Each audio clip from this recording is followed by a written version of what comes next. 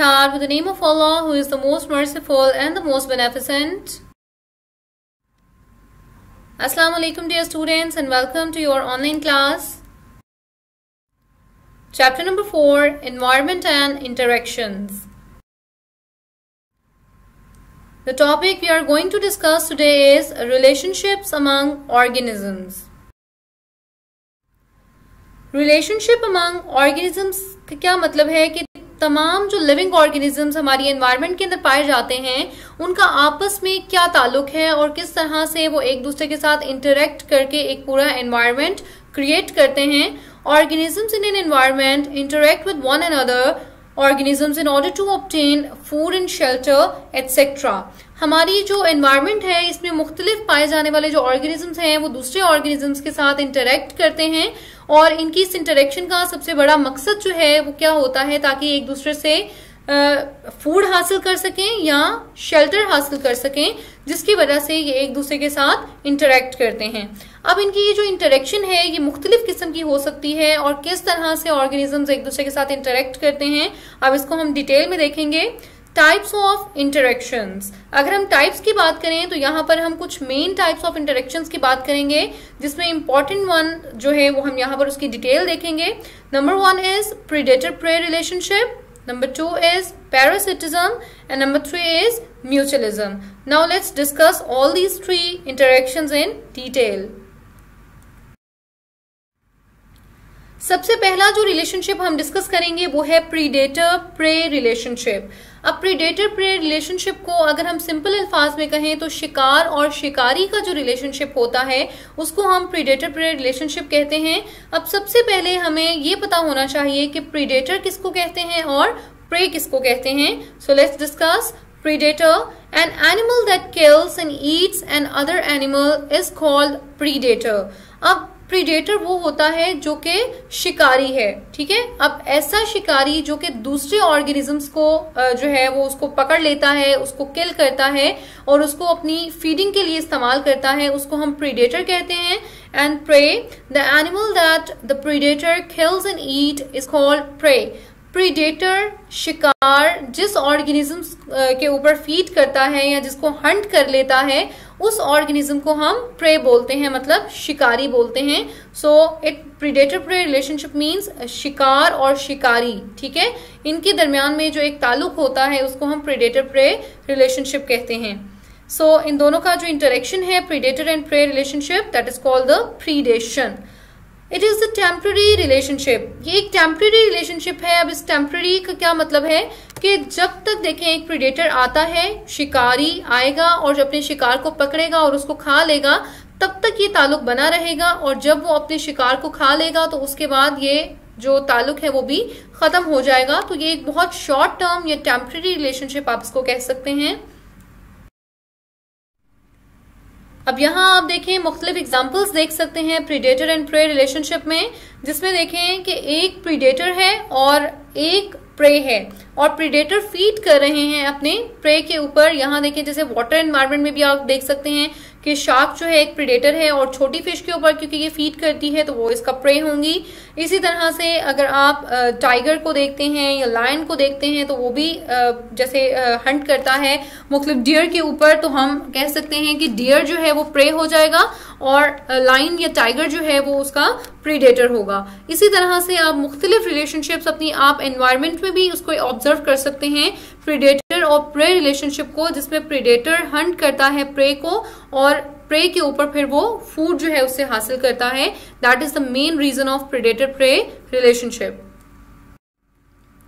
next जो हमारे पास रिलेशनशिप है दैट इज़ पैरासिटिज्म अब पैरासिटिज्म का रिलेशन भी दो तरह के ऑर्गेनिजम्स के दरमियान में होता है, जिसमें एक पैरासाइट होता है और दूसरा होस्ट होता है। तो सबसे पहले हम देखेंगे कि पैरासाइट और होस्ट क्या होते हैं। Parasite a parasite is an organism that feeds on another organism बिल्कुल प्रीडेटर की तरह पैरासाइट भी एक ऐसा ऑर्गेनिज्म है जो कि फ़ीड करता है किसी दूसरे ऑर्गेनिज्म के ऊपर। और होस्ट क्या है? The living organism on which the parasite feeds is called host अब होस्ट क्या होता है? पैरासाइट जिस ऑर्गेनिज्म के ऊपर फ़ीड करता है या जिससे अपना फ़ूड हासिल करता है वो ऑर्गेनिज्म होस्ट कहलाता है और इसी पैरासाइट और होस्ट के दरमियान के रिलेशनशिप को हम पैरासिटिज्म कहते हैं। Parasitism is a relationship between two living organism in which one is harmed and other is helped अब पैरासिटिज्म एक ऐसा रिलेशनशिप है, एक ऐसा ताल्लुक है दो मुख्तलिफ़ किस्म के ऑर्गेनिजम्स के दरमियान में, जिसमें एक ऑर्गेनिज्म का फ़ायदा होता है और दूसरे ऑर्गेनिज्म का नुकसान होता है। अब पैरासाइट इसमें वो ऑर्गेनिज्म है जिसका हमेशा फ़ायदा होता है और होस्ट हमेशा वो ऑर्गेनिज्म होगा जिसका हमेशा नुकसान होगा और पैरासाइट और होस्ट के दरमियान के रिलेशनशिप को हम कहेंगे पैरासिटिज्म।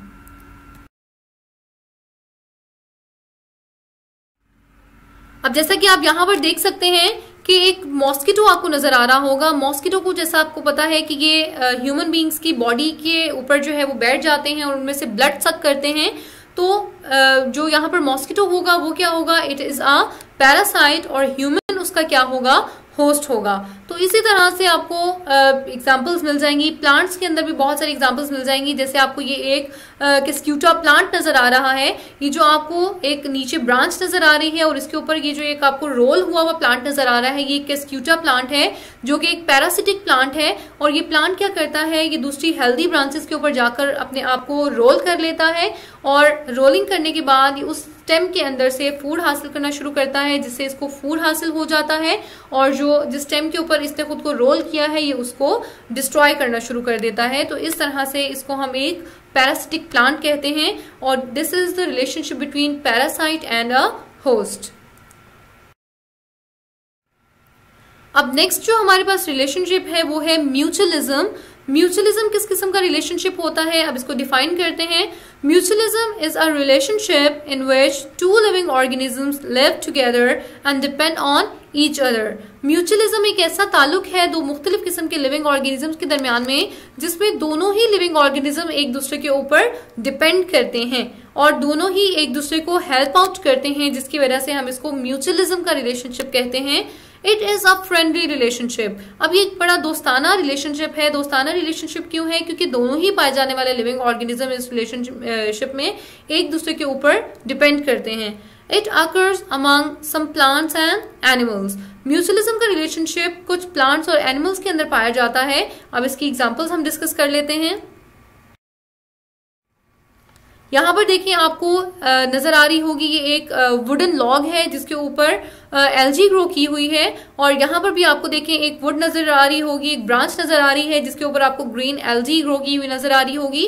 अब इसको हम लाइकन बोलते हैं। लाइकन क्या होता है? जब एलजी और फंजाई एक दूसरे के साथ रिलेशनशिप में रहते हैं तो उसको हम बोलते हैं लाइकन अब लाइकन में क्या होता है कि एलजी और फंजाई दोनों एक दूसरे को हेल्प आउट करती हैं। एक का काम होता है फ़ूड मेकिंग प्रोसेस करना, फोटोसिंथेसिस की मदद से, और दूसरे का काम होता है प्रोटेक्शन प्रोवाइड करना।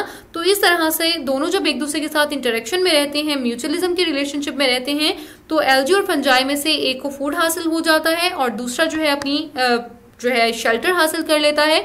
तो इस वजह से दोनों को फ़ायदा होने की बेस पर हम इस रिलेशनशिप को म्यूचुअलिज्म का रिलेशनशिप कहते हैं। और दूसरी तरफ़ देखिए, आपको नज़र आ रहे होंगे यहाँ पे आपको टर्माइट्स नज़र आ रहे हैं। टर्माइट्स हम दीमक बोलते हैं, जो कि लकड़ी को खाते हैं, जो वुड को फ़ीड करते हैं। और आपको पता है कि जो वुड होती है, उसके अंदर सेलुलोज पाया जाता है। एक केमिकल है सेलुलोज और ये वो केमिकल होता है, जो कि टर्माइट्स की बॉडी के अंदर डाइजेस्ट नहीं हो सकता। तो टर्माइट्स क्या करते हैं? टर्माइट्स जैसे ही सेलुलोज को ईट करते हैं तो ये सेलुलोज इनकी बॉडी के अंदर जाता है और सेलुलोज की जो ये टर्माइट्स होते हैं, उनकी बॉडी के अंदर ये सेलुलोज डाइजेस्ट कैसे होता है? बिकॉज़ एक छोटा प्रोटोजोन या एक माइक्रो ऑर्गेनिज्म आप कह सकते हैं, इस टर्माइट की बॉडी के अंदर रहता है और वो ऐसा केमिकल स्क्रीट करता है जो कि सेलुलोज को डाइजेस्ट करने में हेल्प करता है। अब जैसे ही वो केमिकल रिलीज़ होता है सेलुलोज इस टर्माइट की बॉडी में डाइजेस्ट हो जाएगा। अब इस तरह से टर्माइट को भी फ़ायदा हो जाएगा और वो जो लिविंग ऑर्गेनिज्म जो माइक्रो ऑर्गेनिज्म टर्माइट की बॉडी के अंदर रहता है, उसको टर्माइट की बॉडी से फ़ूड हासिल हो जाएगा तो उस माइक्रो ऑर्गेनिज्म का भी फ़ायदा हो जाएगा। तो इस वजह से इन दोनों के फ़ायदे की बेस पर हम इस रिलेशनशिप को म्यूचुअलिज्म का रिलेशनशिप कहेंगे। So these are the examples of mutualism So that's all about our today's lecture. Thank you so much.